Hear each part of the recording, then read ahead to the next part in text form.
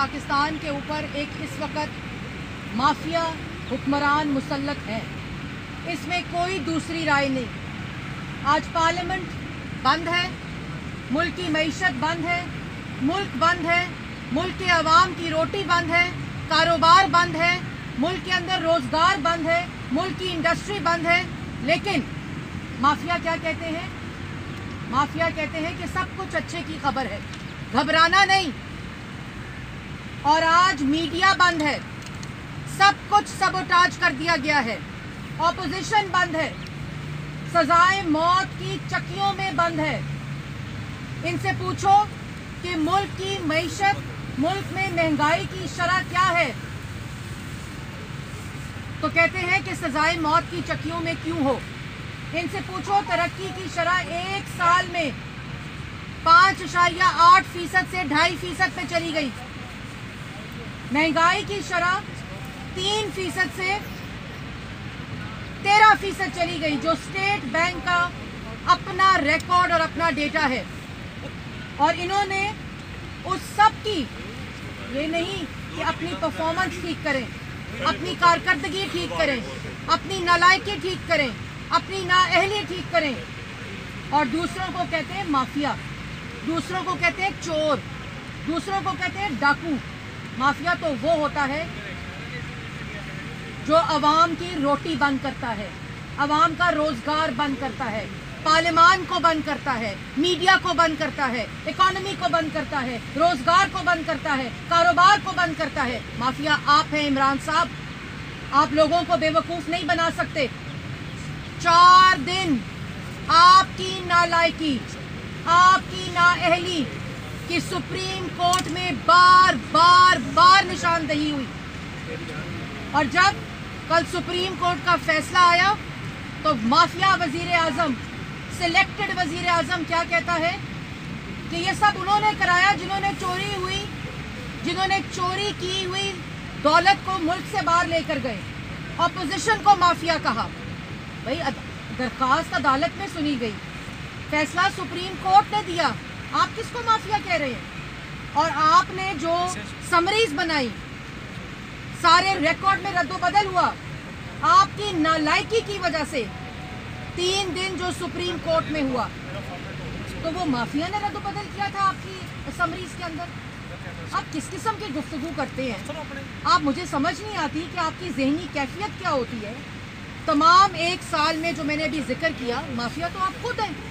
اور پھر تین دن پہلے تین دن پہلے وہ ادارہ جو ایک سال سے وزیر اعظم سلیکٹڈ عمران خان کی ملازمت کر رہا ہے، اس کا نام نام ہے نون اکاؤنٹیبلٹی بیورو اور نون اکاؤنٹیبلٹی بیورو صرف نون کی اکاؤنٹیبلٹی اور اپوزیشن کی اکاؤنٹیبلٹی کر رہا ہے۔ جس جس کا نام کے آخر میں شریف آتا ہے، اس کو نیب میں ڈال دو، اس کے خلاف نیب کی پریس ریلیز آ جائے۔ کیوں؟ اس ملک میں سب کی عزت ہے۔ اس ملک میں سب کا وقار ہے۔ تو ہماری عزت نہیں؟ خبر کیا دیتے ہیں ڈی جی نیب لاہور کہ شہباز شریف کی پراپرٹیز کو ضبط کر لیا گیا ہے۔ شہباز پھر پراپرٹیز کا نام دیتے ہیں۔ سب سے پہلے تو میں پاکستان کی عوام کو بتانا چاہتی ہوں۔ دو دفعہ منتخب سلیکٹڈ نہیں نامنیٹڈ نہیں منتخب وزیر اعلیٰ شہباز شریف۔ نیب کے حکومت خانے میں رہے وزیر اعلیٰ کی کرسی سے اترنے کے بعد۔ کیونکہ یہ وہ ایس او پی ہے جو پاکستان میں پورا ہونا ہوتا ہے کہ وزیر اعظموں نے کرسی سے سیدھا جیل جانا ہوتا ہے یا اب نیا فیشن ہے نیب جانا ہوتا ہے۔ تو وزیر اعلیٰ بھی اسی طرح قانون اور آئین کی پاسداری جھوٹے الزامات کے باوجود ایک روپے کی کرپشن ثابت نہیں ہوئی ابھی۔ اور جو مافیا کہتا ہے، جو چور کہتا ہے، اس کے پاس سارا ریکارڈ موجود ہے۔ بتائیں کہ شہباز شریف نے کس منصوبے سے، کس پبلک منی سے ایک دھیلے کی کرپشن کی ہے؟ نیب کے ڈی جی پریس ریلیز دیتے ہیں۔ اور کہتے ہیں تمام پراپرٹیز کو بند کر دیا گیا ہے۔ کیونکہ ریزنیبل گراؤنڈز ہیں کہ شہباز شریف نے کرپشن کی ہے اور ان کی فیملی نے۔ وہ ریزنیبل گراؤنڈز ہیں۔ تو ریفرنس دائر کریں۔ آج چھ مہینے ہو گئے، کوئی ریفرنس دائر نہیں۔ جب شباز شریف صاحب کو بند کیا گیا، نیب میں، اس کے بعد جوڈیشل ریمانڈ میں رکھا گیا، کوئی ریفرنس نہیں۔ لاہور ہائی کورٹ نے اپنے فیصلے میں لکھا کہ کسی قسم کا ایویڈنس نیب پیش کرنے سے قاصر رہی اور ایک یوں کاغذ لہرایا جاتا ہے۔ میڈیا کو خبریں دی جاتی ہیں۔ اور میں میڈیا کو بتانا چاہتی ہوں کہ جن پراپرٹیز کا ذکر ہوا اس پریس ریلیز میں، شہباز شریف نہ کبھی اس کے ڈائریکٹر رہے، نہ کبھی اس کا ڈیوڈنٹ لیا، نہ کبھی اس میں شیئر ہولڈرز رہے۔ اور تمام جو بزنس ہے، وہ فیملی کا بزنس ہے۔ کیوں؟ اس ملک میں صرف شہباز شریف کی فیملی بزنس کرتی ہے، صرف نواز شریف کی فیملی بزنس کرتی ہے۔ کیا صرف شریف خاندان بزنس کرتا ہے؟ اور وہ کمپنیز جو 1989 اور 1990 اور 1999 اور 2000 سے شروع ہوئی نہیں ہے ان کو بند کر رہے ہیں۔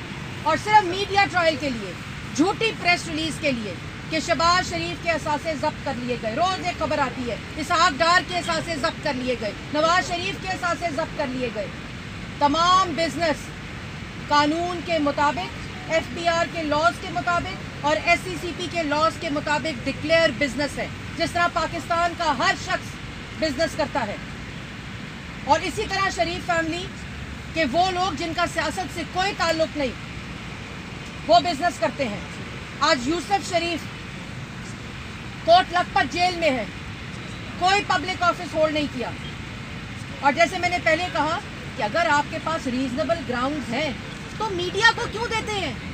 خبر کیوں دیتے ہیں؟ پریس ریلیز کیوں دیتے ہیں؟ آپ کے پاس ریزنیبل گراؤنڈ ہیں تو ریفرنس دیں۔ عدالت میں پیش کریں۔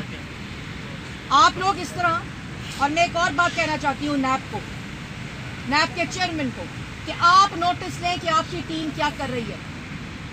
آپ پریس ٹاکس کرتے ہیں کہ اب قانون ایک ہوگا۔ نیپ کے چیئرمین کہتے ہیں، ہواؤں کا رخ بدل رہا ہے۔ یہ تو ہوائیں واپس ہماری طرف آ رہی ہیں۔